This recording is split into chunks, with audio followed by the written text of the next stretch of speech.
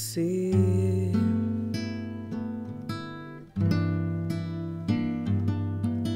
Nada é eterno, sei que tudo acontece quando tem que acontecer.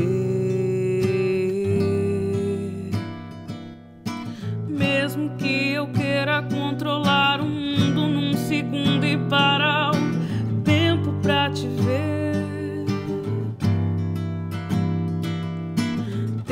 que seguir sozinha meu caminho e tentar.